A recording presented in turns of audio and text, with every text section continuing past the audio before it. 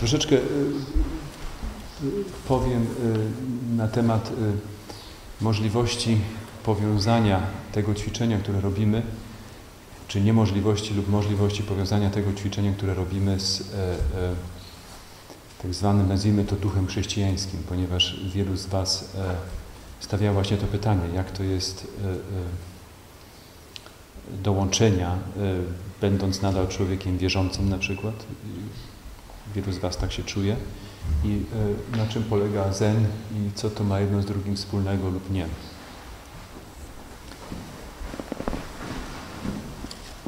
Jest to dosyć obszerny temat i Pierwszym punktem bardzo ważnym dla nas wszystkich w praktyce jest, żebyśmy byli precyzyjni w porównywaniu. To znaczy się, nie ma sensu porównywania zen do chrześcijaństwa katolickiego lub protestancyjnego. Ma sens porównanie mistyki chrześcijańskiej zen lub buddyzmu z chrześcijaństwem. Ale porównywanie jednego tak na, na, na krzyż z drugim nie ma sensu. Jedno jest bardziej religijne, drugie jest właśnie bardziej duchowe. Czyli możemy troszeczkę zobaczyć, czy jest możliwość porównania i na czym by to polegało, to ćwiczenie, które nazywamy zen, z ćwiczeniem mistyki chrześcijańskiej, które do dzisiaj nazywamy kontemplacją.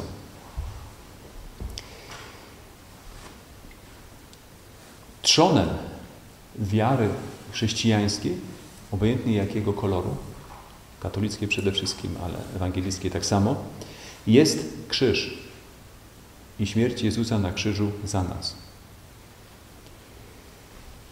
Tego nie ma w mistyce. I tu już jest cała wielka różnica. Słynni mistycy chrześcijańscy, szczególnie mistrz Eckhart, Tauler, Zoyze, szczególnie Eckhart, który był razem z Tomaszem z Akwinu najsłynniejszym teologiem średniowiecza, skala e, sławy i jakości teologii średniowiecza czy teologów średniowiecza mierzyła się faktem, czy profesor, czy mistrz tak zwany teolog był powoływany na Uniwersytet Paryski, czy nie, który był wtedy w XI, XII, XIII, XIV wieku e, najsławniejszym. Tylko dwie osoby były dwa razy powołane na ten uniwersytet, to był Thomas Aquino i mistrz Eckhart. Eckhart napisał parę metrów literatury i co ciekawe, cała jego teologia prawie że nie ma ani jednego zdania na temat krzyża. Cała teologia średniowieczna, chrześcijańska, uczona na uniwersytecie nie ma krzyża. To jest ciekawe. Można bez. Podczas gdy nasze zrozumienie klasyczne, dzisiejsze e, e, wiary katolicko-chrześcijańskiej bez krzyża jest właściwie niemożliwe. E, mistrz Eckhart mówi na temat krzyża bardzo prosto. Mówi, nikt za ciebie nic nie może zrobić. To znaczy się, jeżeli mój brat ma pieniądze albo je, to mi z tego. To ani ja nie mam pieniędzy, ani ja nie je. Czyli y, problem jest troszeczkę inny i zrozumienie y, chrześcijaństwa jest w mistyce inne. I ma dużo wspólnego z tym ćwiczeniem, które robimy. Dlaczego? Dam Wam dwa przykłady, jeden zen i jeden z, y, z mistyki. Czy zrozumienia mistycznego, na przykład Ewangelii. Jest słynny kołan Mumonkan, w którym e, Joshu, będąc jeszcze uczniem, pyta się swojego mistrza Nansena, e, na czym polega droga. Czym jest droga? O co chodzi? I Nansen mu odpowiada, Twoja codzienna świadomością. Świadomość ją jest. I byłaby kropka i byłby spokój, ale Joshu się pyta, skąd ja mogę wiedzieć, że ona tym jest? Skąd ja mogę wiedzieć, czy jestem na tej prawdziwej drodze? I na co mu odpowiada, ani to jest, nie ma prawdziwego, nieprawdziwego, to z tym nie ma nic wspólnego. Jest to otwarta przestrzeń. Twoja codzienna świadomość. Czyli, biorąc to na serio, my tym jesteśmy. Chyba, że w tej tak zwanej codziennej świadomości, i na tym polega cała zabawa nasza, robimy to, co robimy, czyli identyfikujemy się z pewnymi zjawiskami, które pojawiają się w tej świadomości i z pewnymi nie. Czyli mówimy, to mi się podoba, to nie, to ja jestem, a to nie. To ja jestem, a to ja nie jestem. Ja jestem taki, który lubi lepiej herbatę niż kawę albo wino od piwa. Ale i jedno i drugie pojawia się w świadomości. Czyli potem zabawa w tożsamość i powiedzenie to jest moje, to jest twoje, e, jest tym problemem. Ale my nie jesteśmy czymś, tylko jesteśmy i zarazem tą całą świadomością. Ona po prostu cały czas jest. To, to jest, jest. Ale ją nie możemy złapać, bo nią jesteśmy. To nie jest coś, co można mieć albo nie mieć. To też nie jest coś, co można wyćwiczyć. Albo do czegoś dojść, bo to jest. Równoległa chrześcijańska, e, e, e, porównanie Jezusa, król wysyła swojego pachołka, żeby zaprosić ludzi na święto. I chodźcie na, nie to jest po polsku, na, na to wesele, tu i teraz. Odpowiedź ich? Nie. Bo ja akurat kupiłem pole, muszę iść. Bo ja akurat się ożeniłem, muszę. Bo ja akurat kupiłem parę wołów, muszę. Czyli mamy tu i teraz, to tak zwane Bazyleja, tutaj, Królestwo Boże jest tu i teraz, jest. Ale my zajmujemy się tylko pewną, pewną rzeczą, myśląc, że to jest po prostu ważniejsze i od tego wszystko zależy. I tu jest możliwość porównania. Czyli to jest. Jest nie tylko jakimś przydomkiem, tylko to jest właściwie podmiotem. Ale tego podmiotu nie musimy robić, bo jest. Nawet go nie musimy odkryć, bo ono jest. Co my robimy, to go zakrywamy. To jest też słynne e, powiedzenie Jezusa, że jak masz lampę, to ją nie stawiasz pod łóżko, albo nie zakrywasz jej kocem. Ale to, co my robimy w, naszym, w naszej działalności jako tożsamość, to zmniejszamy spektrum naszej świadomości, mówiąc, to jest moje. To jest tak, jak jest to pomieszczenie, w którym w tej chwili jesteśmy. Każdy może wejść i wyjść. W momencie, kiedy ja powiem, to jest mój pokój, już musisz zapukać. Bo wchodzisz do mojego pokoju, jak ja ci nie pozwolę wejść do mojego pokoju, to musisz ty poczekać na to, bo to jest moje. To moje, twoje w pewnym sensie organizacyjnym nam troszeczkę pomaga, ale to jest sztuczne. To jest umowa, to nie jest rzeczywistość.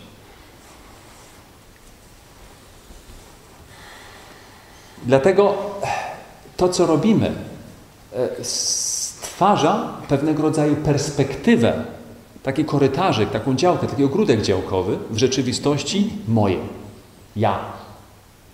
I to jest fajne, ale to nie jest po prostu całkiem cała prawda o rzeczywistości. To tylko o to chodzi. Bo my w tym ogródku męczymy się troszeczkę. Bo to trochę ciasne jest, bo może ktoś wejdzie, może ktoś, yy, może niezapytany, ktoś mi marchewkę ukradnie, albo bo ja wiem co.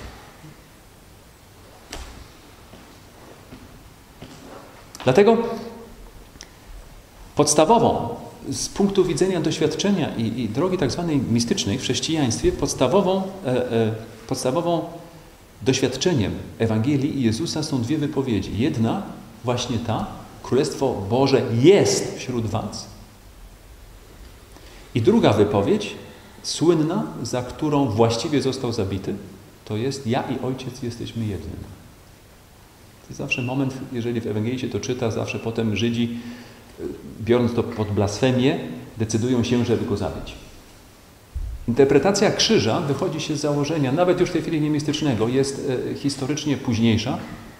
Jest to próba e, zrobienia coś z faktem nieprzyjemnym, jakim jest zabicie na krzyżu. Ale tak samo można by zrobić coś w Siakamuni budą historycznym, który być może został otruty.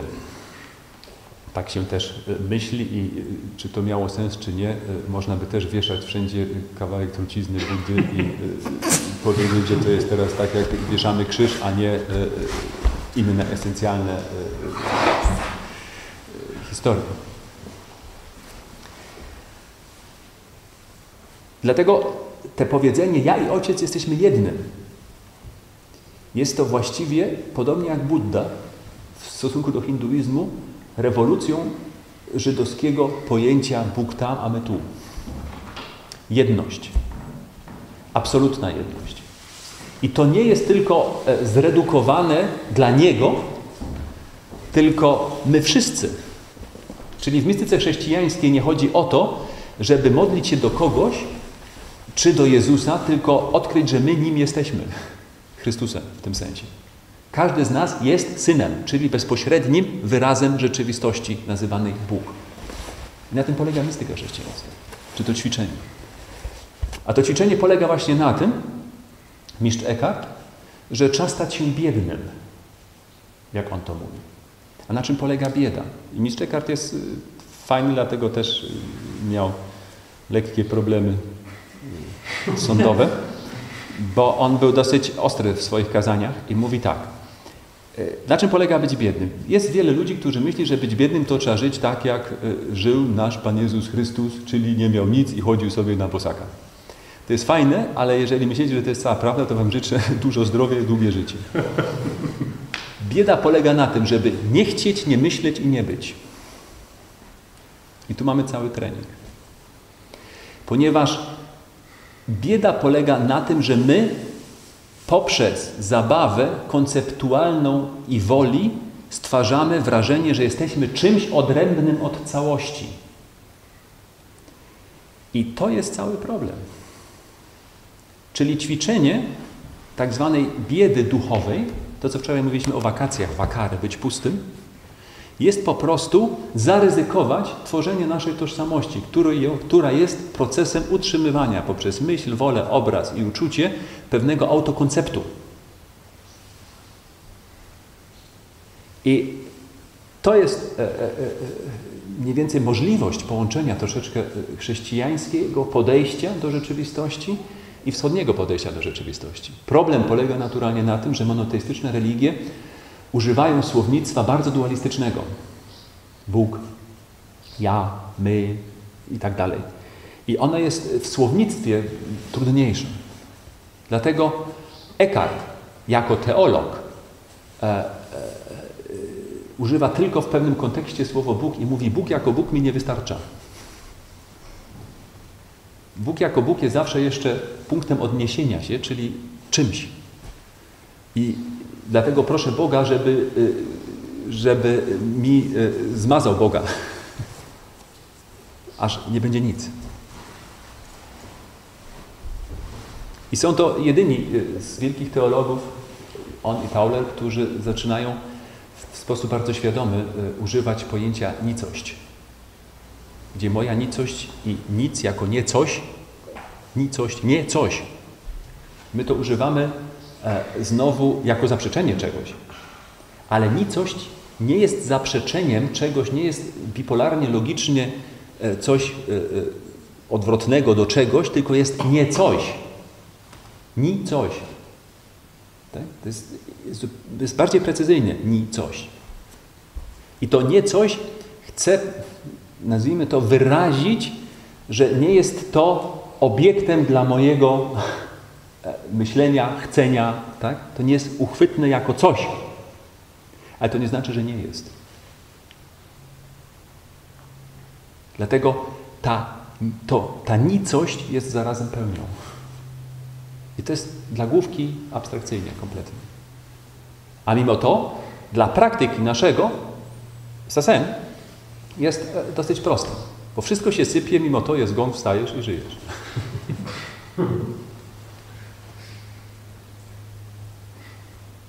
Czyli jeszcze raz. Joshu i Nancy. O co chodzi? Nasza świadomość Twoja, tu, teraz, taką jaką masz, tym jest. Chyba, że zaczniesz wybierać. Słynny jeden z najsłynniejszych i najbardziej precyzyjnych wierszów Sen, tak zwany Shin Mei, trzeciego patriarchy, właśnie to opisuje. Prawdziwa czy ta droga sen nie jest skomplikowana, jeżeli przestaniesz wybierać. Gdzie nie ma ani miłości, nienawiści, ani chcę i mi się podoba, to jest zawsze. ale najmniejsze rozróżnicowanie stwarza automatycznie w tym momencie ten dystans między niebem a ziemią. Dlatego potem e, e, e, mówi e, trzeci patriarcha, dlatego ta cała tendencja nasza do stwarzania różnic i identyfikacji się z pewną częścią jest chorobą ducha. I póki tego nie zrozumiemy, może sobie ćwiczyć do następnej śmierci. I siedzieć jak długo chcesz, bez szans. Jeżeli chcesz, siedząc, coś osiągnąć, to są przyjemniejsze metody. Bo to nie o to chodzi. Dlatego my nie siedzimy po coś. I zobaczcie sobie następną przypowieść chrześcijańską, bardzo znaną, która też bardzo ciekawie jest interpretowana zarówno w klasycznej religii, takiej y, powiedzmy niedzielno-kościelnej, i w mistyce. Y, o tak zwanym synu marnotrawnym. Ten syn marnotrawny y, i ta przypowieść zwykle jest interpretowana w sposób troszeczkę moralny, że było mu dobrze i potem wpadł na głupie pomysły i, i wyszedł i potem znowu nie udało mu się i, i wrócił skuszony. Ta powieść nie jest e, Jezusa, nie jest żydowska, bo ona ukazuje się w wielu kulturach. Też e, mistrzowie Sufi ją używają, ona jest troszeczkę inaczej, ale zawsze ten sam kontekst. Ciekawe w tej powieści jest, że ona, patrząc się mistyczny, na to jest troszeczkę, może być inaczej interpretowana. Sedno tej sprawy jest, z punktu widzenia mistyki, że syn, który w cudzysłowie odchodzi od ojca, obojętnie gdzie on jest, nawet przy świniach, nigdy nie przestaje być księciem. On jest zawsze synem.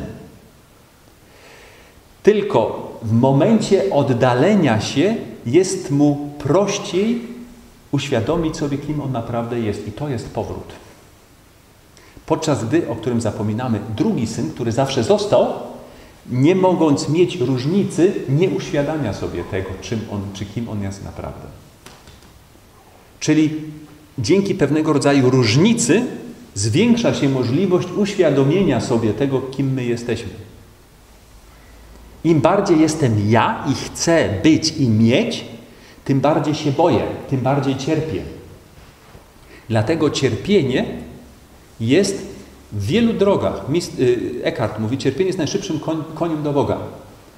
Ponieważ im bardziej chcesz być i mieć, tym bardziej czujesz, jakie to jest kruche. I być może sypiąc się to, kapniesz się o co chodzi. Kim naprawdę jesteś. Tak? Podczas gdybyśmy zawsze byli e, tylko tą jednością, e, nie byliśmy, nie, nic byśmy, byśmy z tego nie mieli, bo nam by brakowało świadomości tego. I tu jest słynne powiedzenie, e, e, które mówi, że różnica między małym dzieckiem a mistrzem polega tylko na tym, że ten drugi jest świadomy tego. Dziecko tym jest, ale o tym nie wie. I to jest fajne, ale nie całkiem e, e, satysfakcjonujące. Czyli świadomość jest pewną jakością. I na tym polega e, nasze ćwiczenie. Nasze ćwiczenie polega na uświadomieniu sobie świadomości.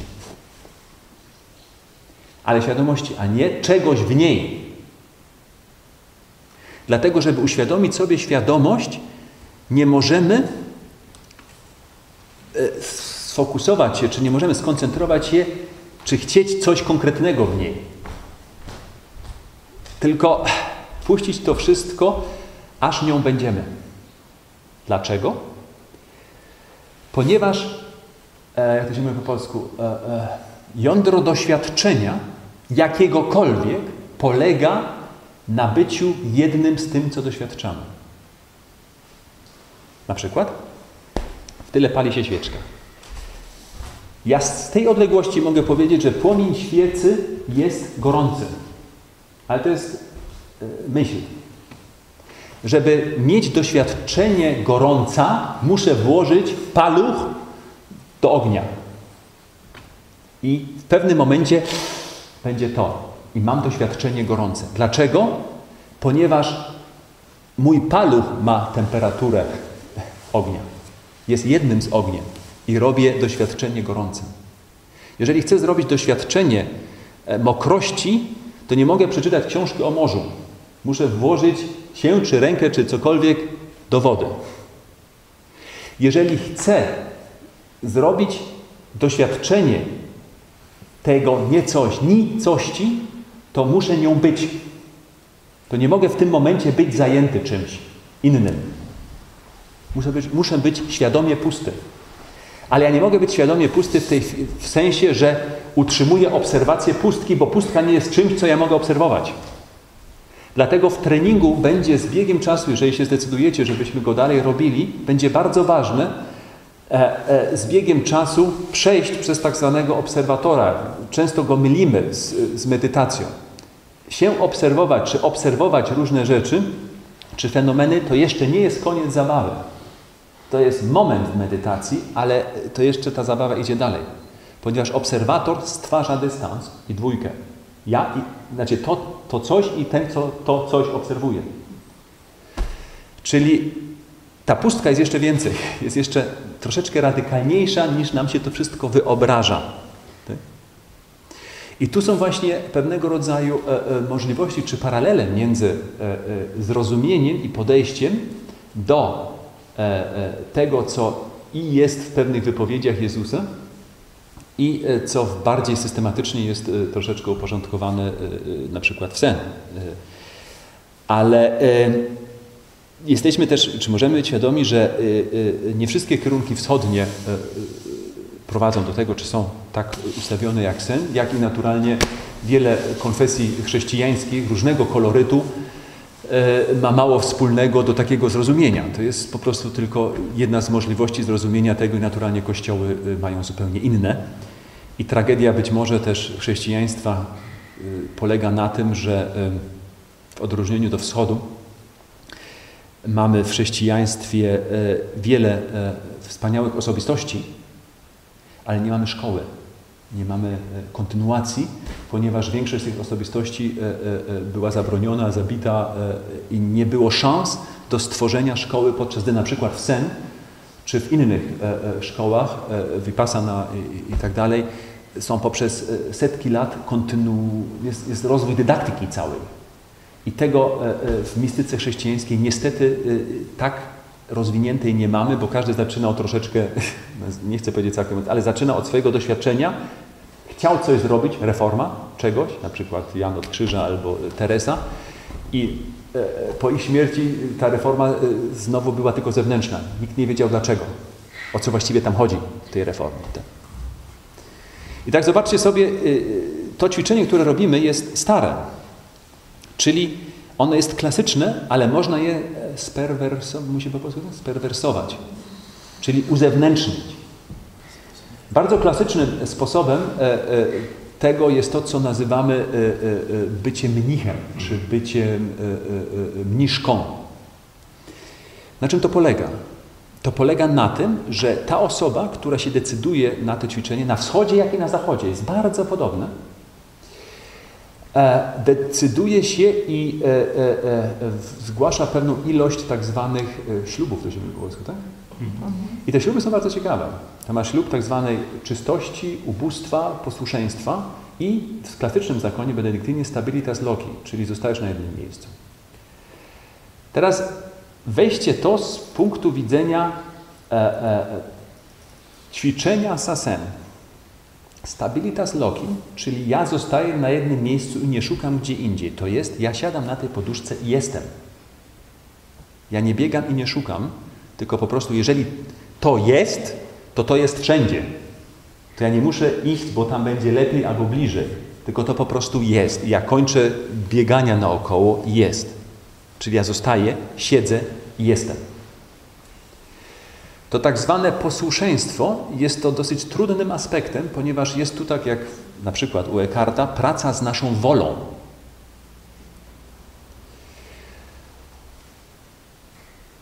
to często mówimy, ach, ja bym chciał, chcę, nie podoba mi się, chciałbym coś innego, to tak nie jest i tak dalej. Póki ja chcę coś, ja zawsze mogę chcieć coś, jeżeli to coś sobie wyobrażam. Czyli praca z moją tożsamością polega też na pracy z moją wolą. Ja rezygnując świadomie z tego ja chciałbym, zbliżam się do E, e, e, korzenia mojej tożsamości, więc czyli tego samo, samego obrazu, samego siebie, które po części jest podświadomie. I dlatego często w ćwiczeniach nie chodzi o to, co ty chcesz, tylko jesteś proszony, że robisz to, co masz robić w tej chwili. Czyli od tej o tej godzinie siedzisz, tu chodzisz, tu myjesz naczynia i tak dalej, i tak dalej. Czy ci się to podoba, czy nie, nie gra roli. Podporząd... Rezygnujesz z tego, a ja chciałbym pół godziny później. Bo to ja chciałbym, ja nie, to jest zwykle wypadkową naszej tożsamości. I żeby dojść do jej e, e, e, e jądra, dydaktycznie pracuje się też z tak zwaną wolą, czy poddaniem jej. Fakt jest, i to jest historycznie problematyczne, że e, to jest jeden z wielu punktów bardzo wielkich nadużyć. Historycznie też i do dzisiaj. Gdzie wtedy w stworzonych różnych hierarchiach E, ta praca nie jest jako ćwiczenie nad tożsamością, tylko tworzy się hierarchia zewnętrzna różnych e, zależności, posług i tak dalej, co jest perwersją tego.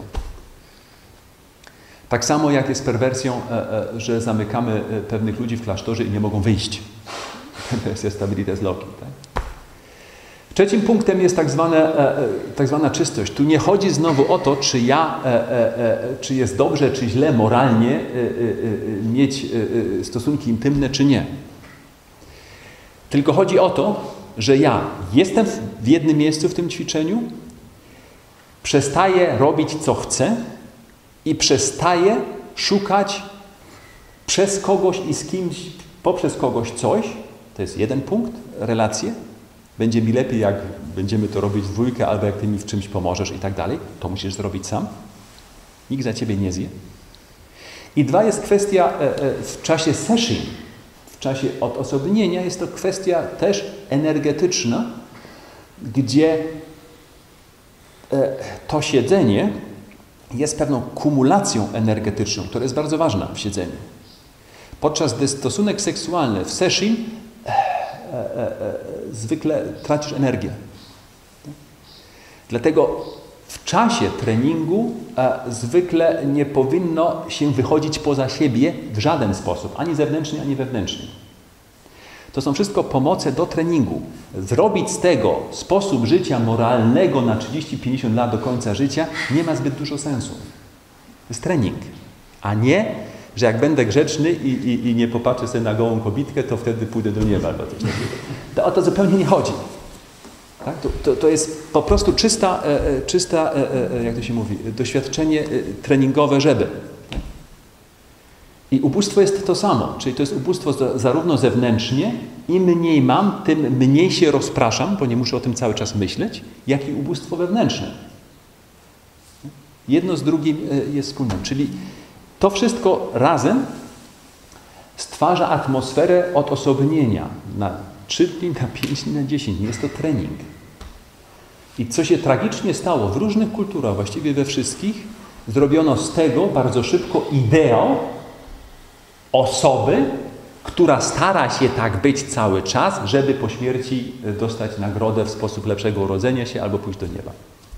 Nie, to jest lekki trening, żeby tu i teraz kapnąć się o co chodzi, a nie żeby dostać jakąś nagrodę. To nie jest wyścig moralny. I tak myśmy sperwersjowali bardzo szybko znowu pewien trening, e, który by wysadził naszą tożsamość i zrobiliśmy z tego znowu coś, co ją umacnia. Bo ja wtedy będę lepszy. Ja. Dlatego Eckhart bardzo fajnie mówi, im więcej pościsz i tam się starasz, tym, dalej, tym jesteś dalszy od Boga. Bo coraz silniejsze stwarzasz ego, ja, bo ja jestem lepszy, bo, bo, bo, bo, bo, tak? Bo ja, ja, ja. Naturalnie takie komentarze jego e, e, nie, nie, nie przyniosły mu zbyt dużo przyjaciół. E, I, i, I tak zawsze on cytuje zawsze, bo jakiś biskup Albert mówi, że to i to nam pomoże, a on mówi, to jest dobrze powiedziane, ale ja to powiem lepiej. no i to wtedy na pewno socjalnie mu wtedy dało parę numerów, także Bogu dzięki umarł przed, przed swoim sądem i, i zaoszczędzono mu trochę przykrości. Ale y, być może zrozumiecie, że ta tradycja, czy te podejście do treningu w ostatnich kilku tysiącach lat specjalnie się nie zmieniło. Ponieważ struktura naszej tożsamości też się nie zmieniła. My y, jesteśmy też nadal jeszcze tak samo zbudowani. Być może y, coraz bardziej dzisiaj zaczynamy czuć też kolektywnie, kiedyś to było bardziej dla, dla jednostek, kruchość naszej tożsamości. Przede wszystkim dzięki temu, że akurat w ostatnich dziesięcioleciach dla wielu z nas e, stało się prostszym zdobycie tego, o czym myśmy, czy nasi rodzice, czy babcie marzyli, że mając to będzie wszystko dobrze. Oni myśleli, czy wiele lat było, że ach, jakby było tak i tak, to wtedy. Kiedyś było fajnie, bo myślałeś, no jeszcze 20 lat i będę miał własne mieszkanie i tak dalej. Dzisiaj to możesz mieć za parę miesięcy i wiesz, że to jest fajne, ale to nie rozwiązuje wielu problemów. Przynajmniej nie tych naprawdę wewnętrznych. Możesz y, mieć tą czy inną kobietę, ten czy inny samochód, to czy tamto mieszkanie, to jest wszystko fajne. Dlatego dzisiaj trening dla wielu osób zaczyna się po, po, trzeci, y, po trzecim Mercedesie, po, po, po, po piątym rozwodzie i tak dalej, bo kiedy się kapniesz, że te N plus 1 nie jest rozwiązaniem, że jest inny głód u nas. I kwestia duchowości polega też na precyzyjnej, a, jak to się mówi, zrozumieniu i rozróżnieniu różnych głodów. Jest głód do głębek, głębokiego samopoznania się. I ten głód może być tylko zaspokojony przez pewne doświadczenie. On może być zatajony przez inne, ale nie zaspokojony. Czyli jest pewien głód, który prowadzi nas na przykład do tego typu ćwiczenia, powiedzmy w ten sposób, przez które możemy dojść do doświadczenia. Ale są inne potrzeby. I nie możemy je mylić. Jeżeli cię boli ząb, to idź do dentysty, a nie na zen. To jest ważne. Jak nie masz pieniędzy i pracy, to postaraj się zdobyć dobry zawód, żeby pracować i żeby założyć, y, czy, czy, czy być wystarczalnym. To jest ważne. Nie uciekaj w klasztor wtedy. Bo to nie wyjdzie. Jeżeli klasztor staje się ucieczką, czy duchowość staje się ucieczką od czegoś, czego nie potrafisz, y, nie dojdziesz tam do doświadczenia. Żadnego specjalnie, tylko znowu się będziesz kręcić, żeby czuć się troszeczkę pewniej. Będzie to znowu taka emocjonalna zabawa w duchowość. Duchowość to nie jest coś bardzo przyjemnego i bardzo stabilnego, tylko to jest duże ryzyko dla nas. Właśnie zostawić pewne rzeczy i zaryzykować stan bez tożsamości. I musimy rozróżnić właśnie różne potrzeby różne problemy równolegle, a nie myśleć, że to wszystko ja już nie potrzebuję, czy jest niedobre, bo tylko to jest y, ważne i prawdziwe. Nie. Jesteśmy dzisiaj tak daleko i na tym polega być może też praca naszej linii Zen, e, e, że e, to troszeczkę staram się, jak to się mówi, podkreślić, że w dzisiejszych czasach nie jest potrzebne rezygnacja z, z życia codziennego, żeby praktykować duchowość. Nie musimy przestać robić to, co robimy. Być dzisiaj mnichem to jest kwestia wewnętrzna, a nie zewnętrzna. Być mnichem, czyli iść na te wakacje, wakarę, opustoszyć się, to jest kwestia ćwiczenia, które możemy zrobić kilka razy w roku i powinniśmy zrobić. Ale równolegle musimy zobaczyć, w jaki sposób możemy zarobić sensownie pieniądze, w jaki sposób odpowiedzialny i tak dalej, i tak. To się wszystko zazębia jedno z drugim. A powiedzieć mi to wszystko teraz wisa, idę do klasztoru, niech wszyscy inni pracują na mnie, jakieś datki, a ja będę się bawił w, w te rzeczy. To nie o to chodzi. Dlatego dzisiejsza duchowość jest odpowiedzialna, jest bardziej precyzyjna i jest dostępna dla każdego. Dlatego też w naszej linii e, e, nie mamy żadnych ordynacji, czy to są jakieś buddyjskie, czy jakieś inne. Nie trzeba być czymś, czy stać się czymś, żeby znowu to puścić, tylko jest to, to, to nie musisz być jakimś ismem znowu.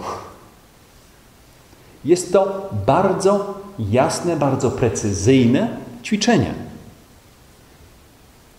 I kropka.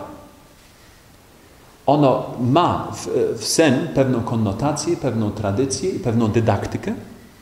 Ona w kontemplacji też istnieje. Willigis też założył, założyliśmy w, w, naszej fundacji linię kontemplacyjną, która e, jest bardzo podobna do sen, właściwie jest troszeczkę e, e, opatrzona od metodologii, ale używa ikonografii języka, powiedzmy, chrześcijańskiego, podczas gdy w sen będziemy silniej wtedy pracować i też językiem wschodu, który jest inny i przykładami jak koanami, które są inne. Dla wielu ludzi są zbyt obce, dla wielu są dobre które już nie mają silnego kontaktu z chrześcijaństwem. Ale dla wielu ludzi jeszcze jest e, ciekawe i ważne właśnie roszady w, w myśleniu, e, powiedzmy, chrześcijańskim, które rozbijają pewien typ tożsamości.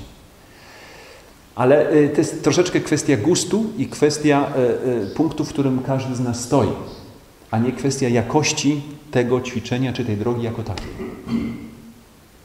Dlatego w tych e, sytuacjach jest możliwe zarówno jak i. Jest, e, e, można iść znaczy się pod, pod nazwą sen, czy można też to troszeczkę iść pod nazwą kontemplacji. Jeżeli uważamy pod nią coś podobnego, bo w katolickim świecie pod kontemplacją też tak zwane klasztory kontemplacyjne są klasztorami, w których się dużo modli. I im więcej się modlisz, tym kontemplatywniejszy klasztor jest. Tak? Czy na przykład kartuzi modlą się w ciągu dnia tyle, ile benedyktyni w ciągu tygodnia. Dosłownie. Czyli ilość psalmów e, e, recytowanych przez kartuzów w ciągu dnia jest ta, którą benedyktyni recytują e, w ciągu tygodnia.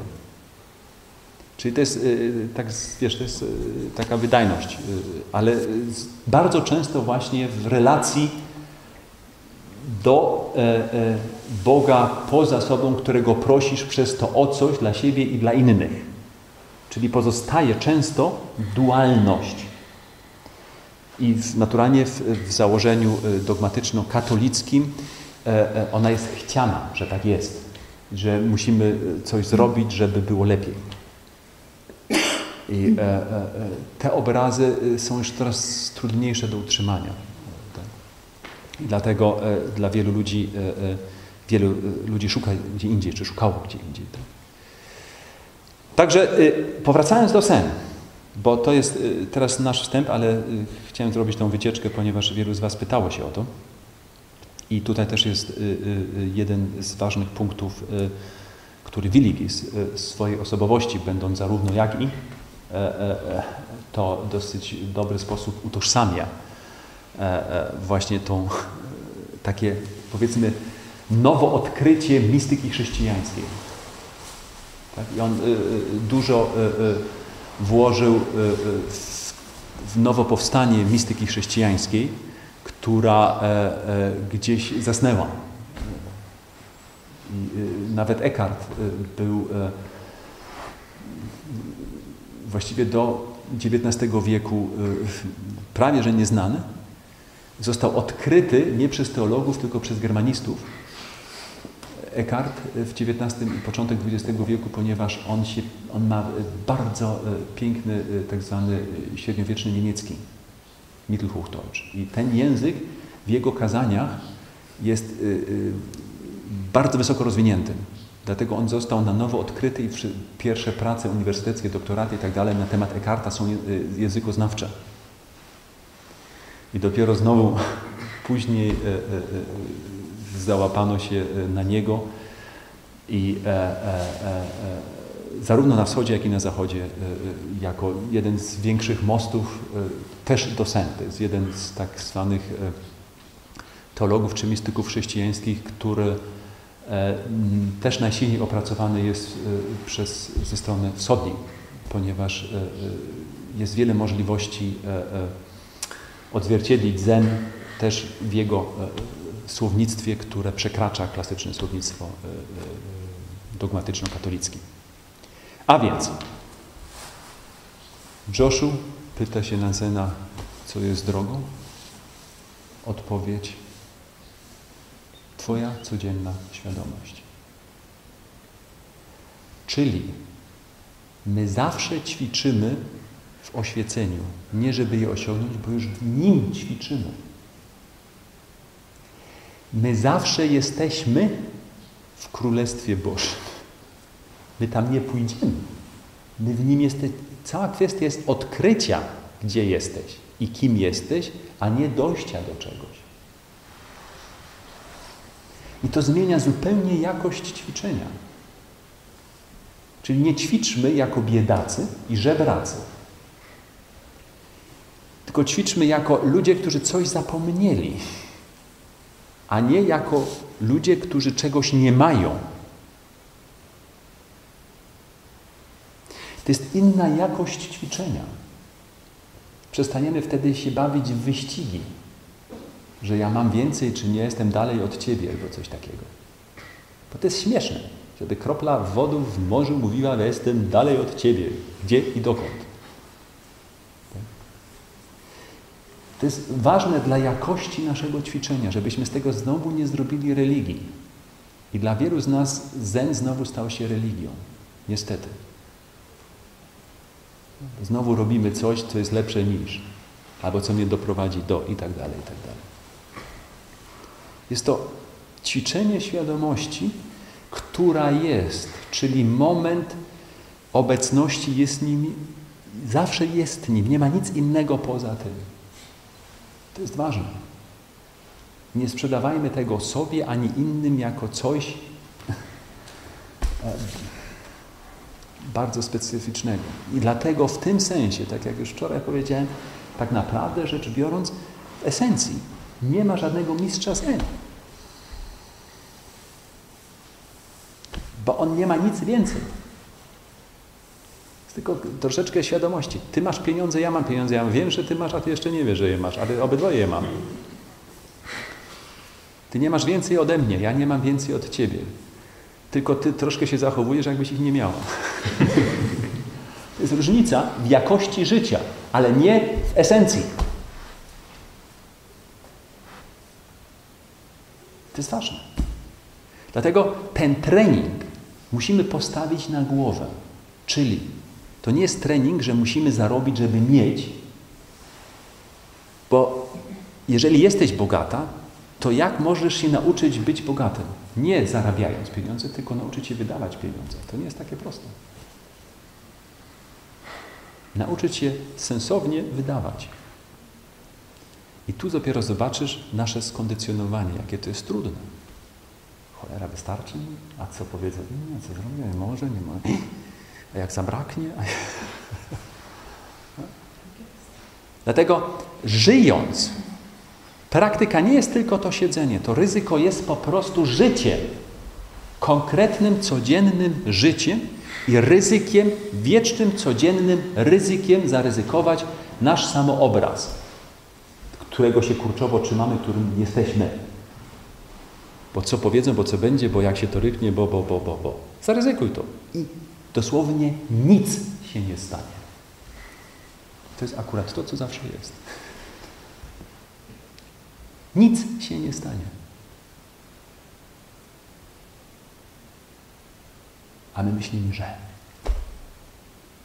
I uważamy, że. I tak nawzajem. Dlatego to jest, często się mówi, tak jak Mumonkan, jest to przejście y, y, bramy bez bariery. Bo to się wydaje, że jest bariera, wydaje się, że jest. Albo jak Jezus mówi, to jest tak jak, jak, jak jeżeli jesteś pełny tożsamości, to będzie Tobie trudno przejść tą, tą barierę. Tak, tak jak wielbłądowi przez, przez ucho i giel. Tak? Ucho i giel. Bo im większa tożsamość, tym trudniej. I na tym polega, e, nazwijmy to, to ćwiczenie.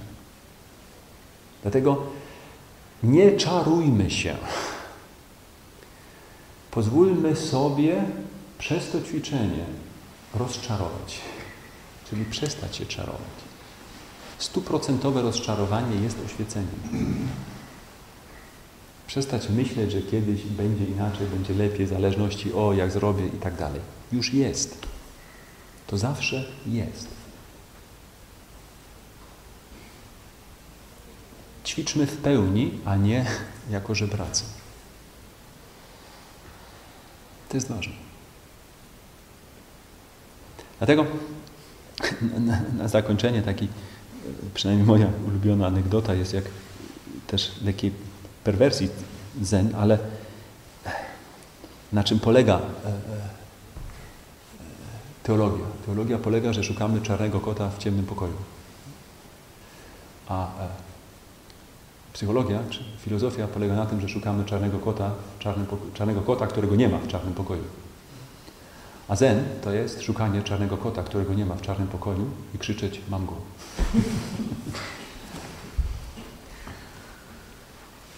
Dlatego bądźmy po prostu uważni. Ale uważni nie w sensie, żeby się nie pomylić, tylko po prostu obecni.